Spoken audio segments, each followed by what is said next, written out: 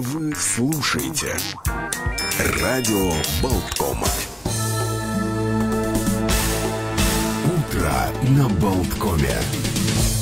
А зря все-таки говорят, что понедельник день тяжелый. На самом деле иногда бывает, что и вторник потяжелее любого понедельника. Сегодня у нас небольшие проблемы со связью. Пожалуйста, не обращайте внимания. Мы с вами, мы с вами, уважаемые слушатели и зрители на Фейсбуке. Мы, это я, Александр Шунин, который находится в студии Радио Болтком, а Олег Пека, который находится вне студии, такая глава профессора Пеки.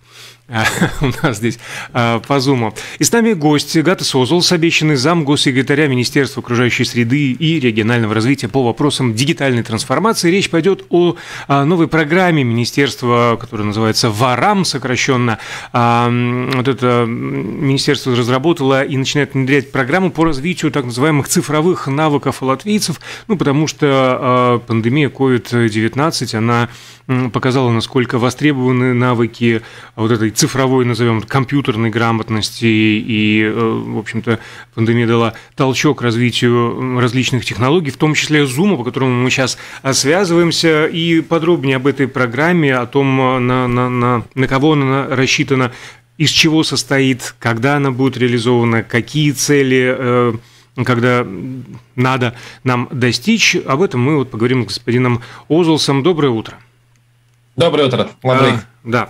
Итак, э, вот эта вот э, программа «Дигиталос. Трансформация спам от Ностедна с 21-27 э, год», она подразумевает эм, за за вот эти оставшиеся, сколько там, 5, считай, 6 неполных э, ну, лет добиться 7, того, 7, 7 лет, да. хорошо округлим, пускай будет 7 лет, а, добиться того, чтобы, по крайней мере, 70% жителей а, Латвии владели вот этими цифровыми навыками. Ну, во-первых, что подразумевается под цифровыми навыками, насколько глубоко а, подразумевается знать технологии и на кого, э, что, кто является целевой аудиторией. Прошу.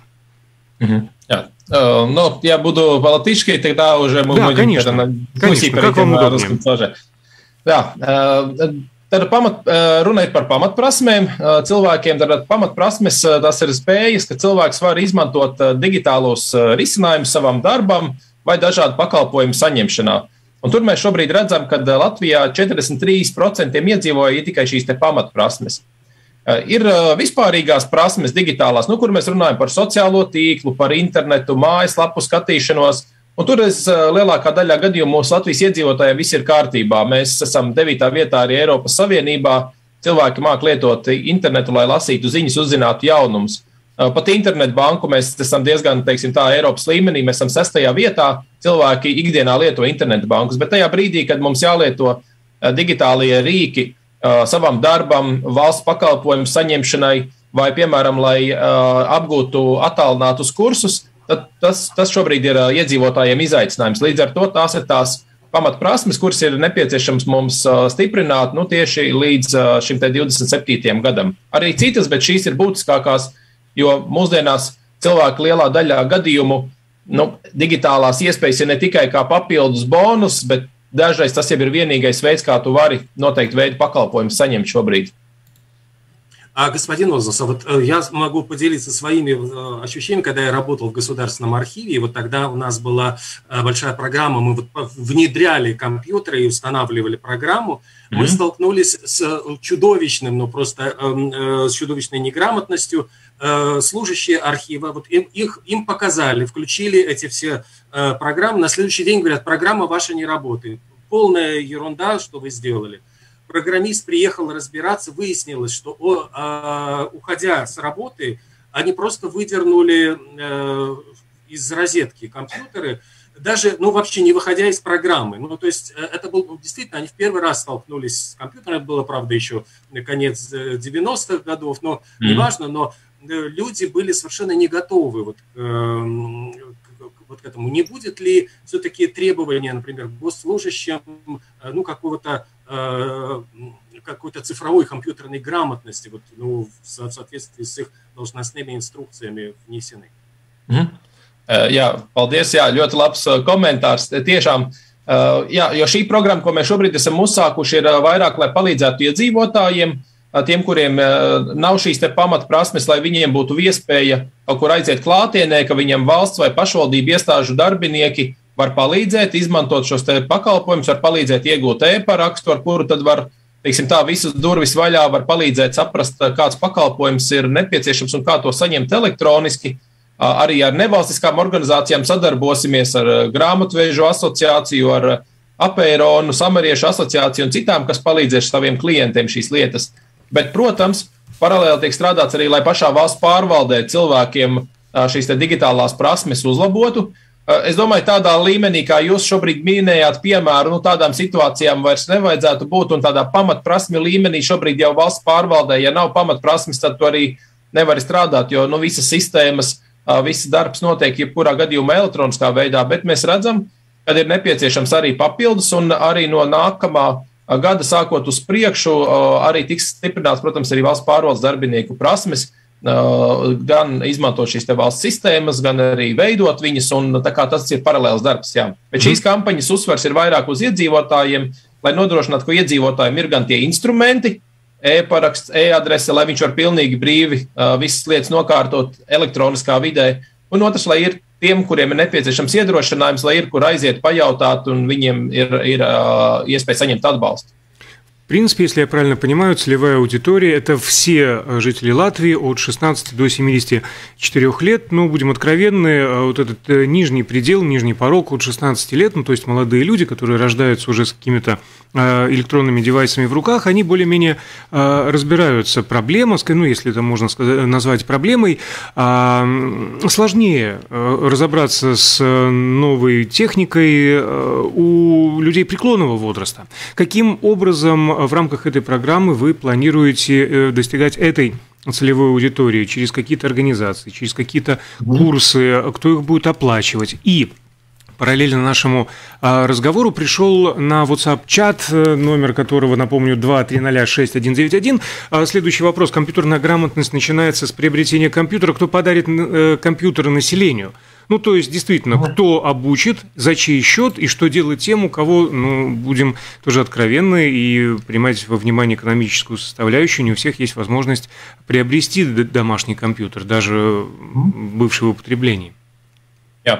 Uh, jā, tātad šīs uh, programmas mērķa auditorija ir cilvēki, kuriem nav šīs digitālās pamatprasmes vai kuriem viņas ir zemā līmenī. Tātad tie ir pārsvarā uh, seniori, tie ir profesionāļi, varbūt cilvēki, kas dzīvo reģionos, un attiecīgi šīs kampaņas pamatmērķis ir ne tikai informēt, bet arī nodrošināt praktisku atbalstu. Un tas tiks darīts apmācot šos digitālos aģentus vai digitālos līderus. Šobrīd jau ir tādi, kopš 2018. gada ir mācīti un ir aptuveni 6000 digitālie līderi, kas ir gan valsts pašvaldību iestādēs, klientu apkalpošanas centros, gan arī publiskajās bibliotekās. Un šajās vietās jūs varat aiziet un saņemt gan konsultāciju, kā lietot šos elektroniskos pakalpojumus un elektroniskās iekārtas, gan arī tā ir vieta, kur jūs varat bez maksas izmantot internetu, bez maksas uh, izmantot šos datoru pakalpojumus. Tad uh, valsts un pašvaldību klientu apkalpošanas centri vienotie un uh, publiskās bibliotekas. Uh, papildus šajā um, programmā šogad ir iesaistījušās arī nevalstiskās organizācijas, kā es minēju, šobrīd 14, kuru dalībnieki arī tiks apmācīti, lai viņi jau pēc tam savās kopienās varētu cilvēkiem palīdzēt. Nu, invalīdu uh, draugu asociācija, Apērons, Samariešu apvienība, grāmatveži, Rīgas aktīvo senioru alianses un citi. Un tad šie cilvēki jau pēc tam spēs jau ļoti personiski palīdzēt. Tad tā ir mērķa auditorija. Un par jauniešiem, jā, jaunieši paši var atrast, tur gan viņiem ir citreiz nepieciešams palīdzēt, īri saprast, tos administratīvās procedūras, jo tās valsts pārvalde arī varbūt jauniešiem nav tik vienkārši viss uztvert. Otrs jautājums, eh, kas bija WhatsApp jautājums, ļoti mm. labs par, eh, par iekārtām. Tātad, eh, protams, visiem iedzīvotājiem mēs varbūt arī datoru nevaram iegādāt, bet tas, kas tiek darīts, pirmkārt, šobrīd Izglītības ministrija uzsākusi iniciatīvu, lai nodrošinātu, ka dators ir pieejams katram bērnam, katram skolēnam. Tad ir uzsākta programma, kuras ietveros valsts atbalstīs un finansēs uh, datoru iegādi skolēniem, kuriem šobrīd datoru, datori nav pieejami. Un tur ir vairākas prioritātes, kas sākot ar, ar, ar, ar, ar vidējām klasēm, pēc tam augstākām klasēm, un tad arī zemāko klašu skolēniem tiks nodrošināta šī iespēja. Otra lieta, tad nat, publiskās bibliotekas un valsts un pašvaldību vienotie klientu apkalpošanas centri, tad tie katrā pagasta līmenī pamatā, un tur ir pieejami jau šobrīd tad, brīvpieejas datori, brīvpieejas internets. Tad cilvēkiem, ja pat nav dators, tās ir vietas, kur var iet to izmantot bez maksas un arī saņemt konsultāciju un atbalstu.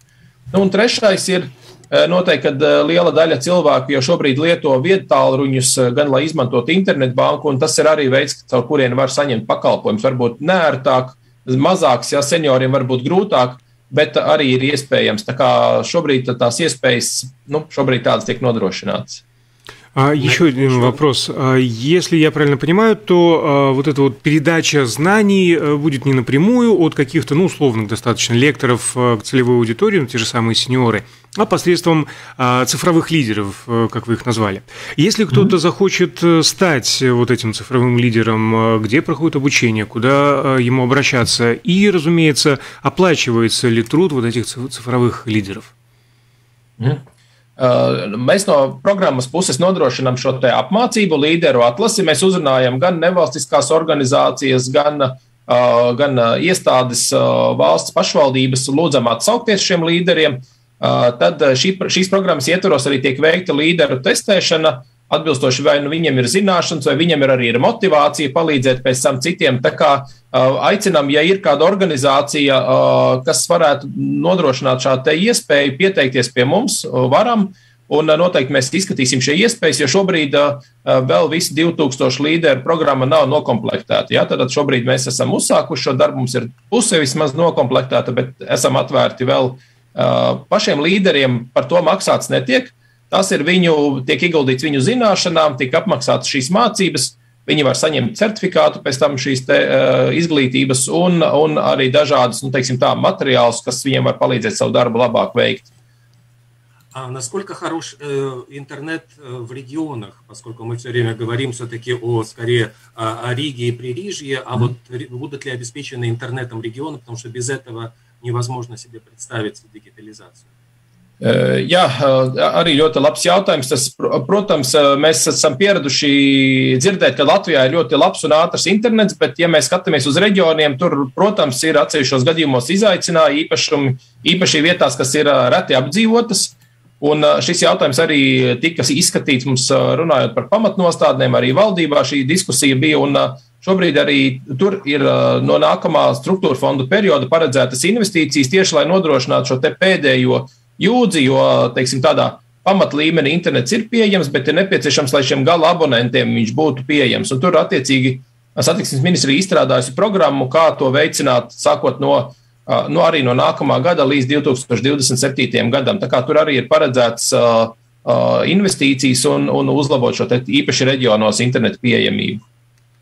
Tajos gadījumos, kad nav, tad mēs arī aicinām jā, izmantot šos te uh, valsts un pašvaldību vienotos klientu apkalpošanas centru vai bibliotekas, kuru jau ir tik nodrošināts centralizēt arī šis internets. Напомню, мы беседуем с Гатусом Озлсом, зам госсекретаря Министерства окружающей среды и регионального развития по вопросам дигитальной трансформации. Министерство разработало и начинает внедрять программу по развитию цифровых навыков у населения. И такой вопрос, господин Озлс, Известны ли примеры, когда люди с недостаточным уровнем вот этой компьютерной, что называется, грамотности а, теряли работу и прогнозируете ли вы развитие подобных случаев э, в ближайшем будущем? Э, nu, tādu precīzu statistiskas uzskaiti mums pašiem nav. Iespējams, to varētu runāt ar um, nodarbinātības aģentūru, bet uh, tas, kas ir aplēsts, uh, ko Pasaules ekonomikas fórums ir aplēsts, kad uh, līdz 2025. gadam visai, vismaz pusē iedzīvotāju vai nodarbināto būs eh, nepieciešams mainīt savas eh, prasmes esošajā darba vietā, jo tās darba vietas digitalizēsies. Līdz ar to šobrīd mēs vairs eh, nu, nerunājam par to, ka digitālās prasmes ir tikai noteikta veida nu, IT darbiem nepieciešamas, bet ikvienā, ikvienā teiksim, profesijā, ja vienāk šīs digitālās arī šobrīd jau ir veikalā mēs strādājam, nezinu, kasē, tur jau ir dažādas sistēmas un ir nepieciešams šīs prasmes mums klientu konsultanti, piemēram, valsts pārvaldē. Daļa no klienta konsultantiem jau šobrīd ir pārorientējušies pa chatbotu treneriem un apmāca chatbotus, kuri spēj konsultēt, un viņiem mainās šis darba profils. Ja, līdz ar to šobrīd ir jābūt gatavai ikvienai profesijai, kad viņā ienāk šīs digitālajie jautājumi, un tāpēc arī uh, Eh, svarīgi ir sekot līdz šīm iespējām, papildināt savas zināšanas. Un, un tur arī programmas tiek nodrošināts, un arī no nākamā gada būs pieaugušo izglītības programmas digitālo prasmu pilnveidē tieši arī profesionālā kontekstā. Mm -hmm. Спасибо. А, к сожалению, время наше подошло к концу. Мы благодарим Гатеса Озлуса, замгу-секретаря Министерства окружающей среды и регионального развития по вопросам дигитальной информации. Подробнее э, наша беседа будет потом а, в текстовом виде появится на портале Mix News LV. А сейчас, да, господин Озлус, огромное спасибо. Всего доброго, хорошего дня. Далее в нашей программе новости оптометрии от э, Филман, а потом мы встретимся зам начальника бюро по предотвращению борьбе с коррупцией по вопросам следственных действий Инаты Цирула и поговорим о двух вещах, о поддельных ковид-сертификатах и вакансиях в КНАБе. Итак, оставайтесь с нами.